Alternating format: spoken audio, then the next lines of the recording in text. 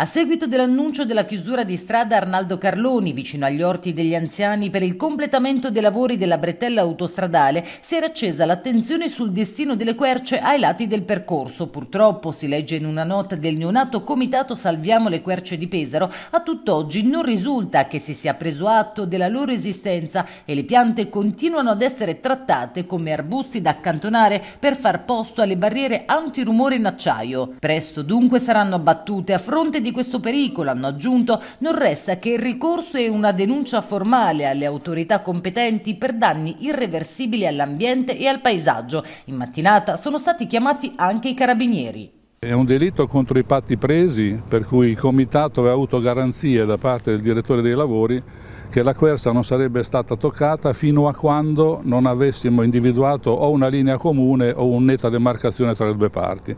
Questo incontro è previsto tra due ore, quindi non si capisce perché si debba operare in questa fase. Questa è la prima manchevolezza sotto ogni profilo di rapporto intergruppi, sociale. La seconda è perché questa quercia è da salvare, nel senso che c'è una legge regionale, di là dal fatto che coscientemente chi fa un progetto di questo tipo da solo vede che è un elemento, guardi intorno, è l'elemento principale di questo paesaggio. Quindi se si danneggia quella quercia, il primo delitto è verso il paesaggio. Il secondo delitto è verso le istituzioni che hanno fatto una legge apposita per salvare le querce.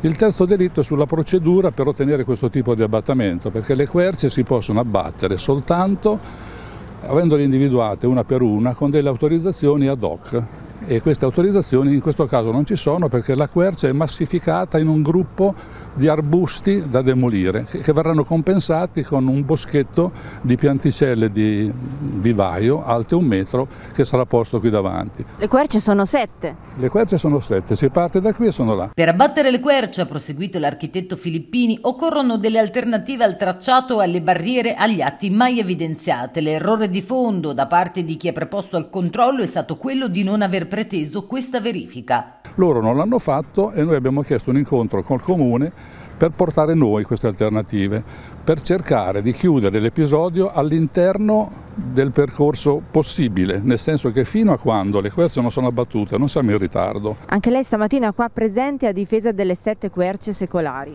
Sì certo, siamo qua come Lega Ambiente a difesa di queste querce. Abbiamo già fatto un esposto e l'abbiamo già inviato ai carabinieri la scorsa settimana.